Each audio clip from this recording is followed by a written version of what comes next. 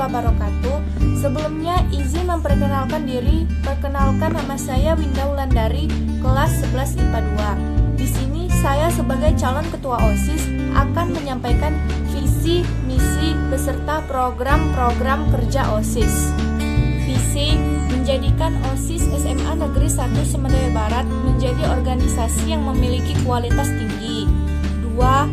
Menyalurkan bakat siswa dan memberikan keleluasan bagi siswa untuk menyalurkan minat dan bakat siswa. Misi 1. Meningkatkan kesadaran siswa mengenai pentingnya menjaga kebersihan sekolah. 2. Mengembangkan kegiatan ekstrakurikuler guna mempererat hubungan antar siswa. 3. Melanjutkan kegiatan OSIS sebelumnya yang belum terselesaikan. 4. Menanamkan sikap disiplin pada siswa-siswi di sekolah. Program-program OSIS yang akan dilaksanakan 1. Menyelenggarakan kegiatan-kegiatan yang berhubungan dengan memperingati hari-hari besar agama Islam 2. Mengadakan lomba-lomba untuk memperingati hari besar Indonesia seperti Hari Kemerdekaan, Hari Sumpah Pemuda, Hari Pancasila, dan lain-lain 3. Mengadakan ekstrakurikuler yang mampu mengasah kelebihan siswa sehingga mampu bersaing dengan sekolah lain 4. Diadakannya razia setiap bulan guna mempertegas peraturan.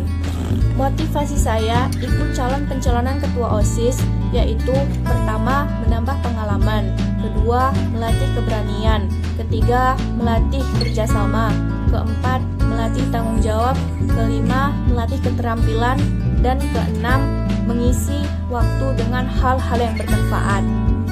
Moto: Jika kamu ingin hidup bahagia, maka terikatlah pada tujuan, bukan orang atau benda. Itulah hasil visi, misi, dan program kerja OSIS saya.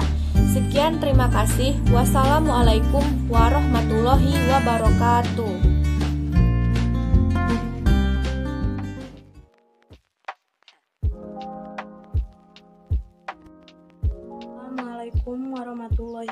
Wabarakatuh. Perkenalkan nama saya Cindy dari kelas 11 IPA 1. Di sini saya sebagai calon ketua OSIS akan menyampaikan visi, misi beserta program-program kerja OSIS. Visi bukan hanya mempertahankan prestasi di SMA Negeri 1 Semendawai Barat, tetapi juga meningkatkan kepribadian dan kerjasama yang baik. Misi menumbuhkan rasa keimanan dan ketakwaan kepada Allah Subhanahu wa Ta'ala, mengoptimalkan kreativitas siswa-siswi SMA Negeri 1 Semendawai Barat melalui ekstrakurikuler dan meningkatkan kegiatan-kegiatan di sekolah. Program kerja OSIS 1. Mengadakan kegiatan memperingati hari-hari besar keagamaan 2. Mengadakan kegiatan lomba memperingati HUT RI untuk mengoptimalkan rasa nasionalisme di lingkungan SMA Negeri 1 Semendawai Barat. Dan memanfaatkan mading untuk kegiatan pengetahuan menuntut ilmu. 4.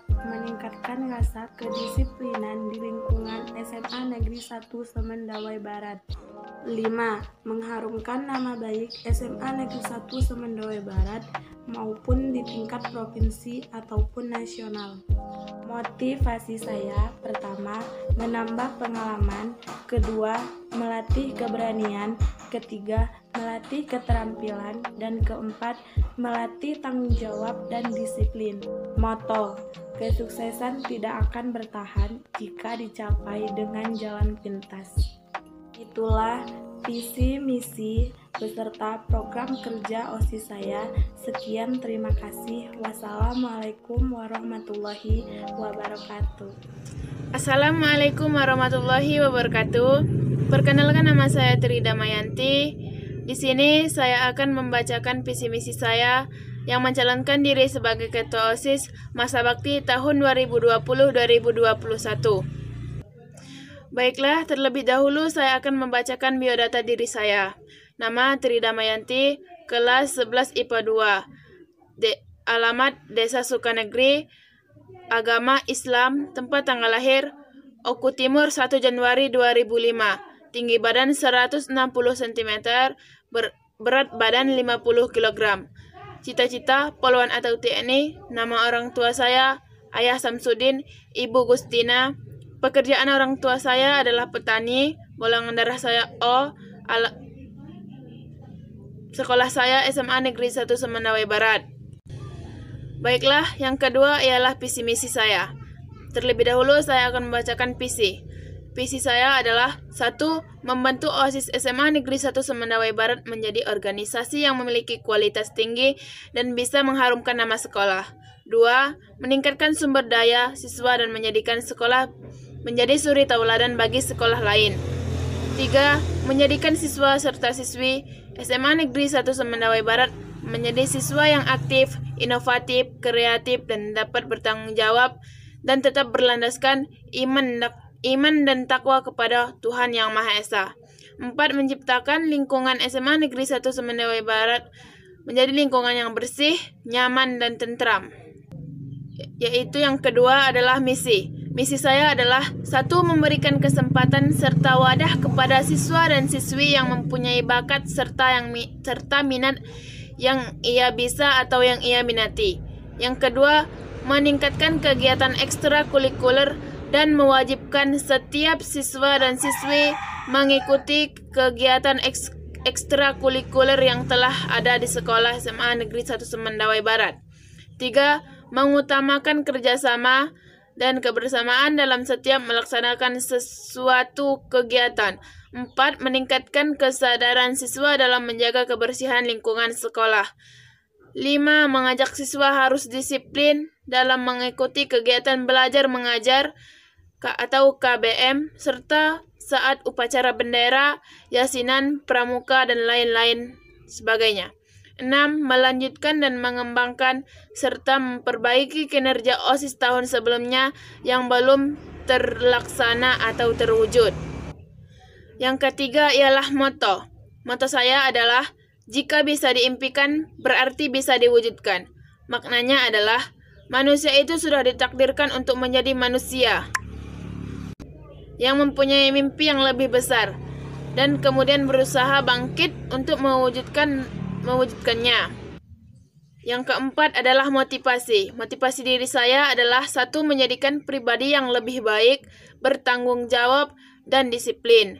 Yang kedua, menambah pengalaman diri sebagai pemimpin. Yang ketiga, mengisi waktu luang dengan hal-hal yang bermanfaat. Yang keempat, melatih keberanian diri saya sebagai pemimpin di sekolah. 5. Menjadi suri tauladan bagi siswa-siswi SMA Negeri 1 Semendawai Barat. Baiklah, mungkin ini saja visi dan misi saya. Saya saya tutup dengan wabillahi taufiq wal hidayah. Wassalamualaikum warahmatullahi wabarakatuh. Assalamualaikum warahmatullahi wabarakatuh. Perkenalkan nama saya Siti Lulu Ulumia, saya dari kelas 10 IPA 1. Saya akan menyampaikan visi misi OSIS yang telah saya buat. Visi saya yaitu menjadikan sekolah kita menjadi sekolah yang berprestasi, aktif, inovatif, kreatif, bertanggung jawab, dan tentunya dilandasi oleh iman dan takwa. Misi saya yaitu satu, meningkatkan kegiatan ekstrakurikuler kerohanian serta keagamaan. Dua, mengembangkan kreativitas dengan kualitas kegiatan ekstrakurikuler. 3. Memaksimalkan program yang sudah ada ataupun belum terlaksana. 4. Meningkatkan kedisiplinan siswa. 5. Membuat peraturan yang lebih tegas. 6. Menghasilkan kader yang mampu menunjukkan eksistensi di bidang akademik. 7. Menumbuhkan kesadaran siswa untuk ikut menjaga lingkungan sekolah. 8 memberikan wadah untuk siswa untuk mengembangkan bakat minat di luar ekstrakurikuler. 9. Menambah rasa kekeluargaan para siswa. 10. Melebih aktifkan lagi pengajian setiap hari Jumatnya. Moto saya berbeda untuk bersatu, bersatu untuk tujuan yang satu. Motivasi saya mengikuti pemilihan ketua OSIS masa bakti 2020-2021 adalah satu memperbanyak teman, 2. Menambah pengalaman 3. Menyalurkan ide 4. Melatih keberanian diri 5. Melatih tanggung jawab, mental, dan disiplin 6. Mengisi waktu luang dengan hal yang bermanfaat 7. membentuk karakter positif. Sekian penyampaian visi misi OSIS yang dapat saya sampaikan. Lebih dan kurangnya saya mohon maaf. Sebelum saya menutup video ini, saya ada satu buah pantun. Kalau mau buat sosis, jangan lupa buat ketupat. Kalau mau pilih ketua OSIS, jangan lupa pilih nomor 4. Akhir kata, wassalamualaikum warahmatullahi wabarakatuh. Assalamualaikum warahmatullahi wabarakatuh. Perkenalkan, nama saya Sri Ayu Dewi Purwati dari kelas 10 IPA 1. Saya calon ketua OSIS SMA Negeri 1 Semendai Barat nomor urut 3. Visi saya yaitu menjadikan sekolah kita lebih berprestasi, kreatif, inovatif, dan bertanggung jawab dilandasi iman dan takwa, serta mewujudkan peserta didik yang religius, cerdas, memiliki wawasan global, dan berlandaskan Pancasila. Misi saya, satu, melaksanakan kegiatan keagamaan agar keimanan dan ketakwaan kita semakin meningkat.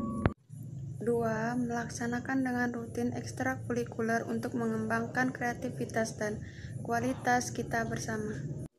3. Melaksanakan dan memaksimalkan program-program yang sudah ada maupun program-program baru dalam meningkatkan prestasi akademik dan non-akademik.